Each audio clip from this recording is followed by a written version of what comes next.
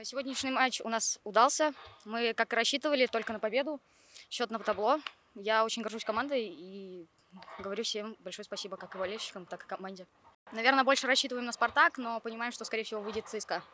Ну, мы вообще со своими болельщиками мы играем первый раз, первый раз дома, и было достаточно приятно.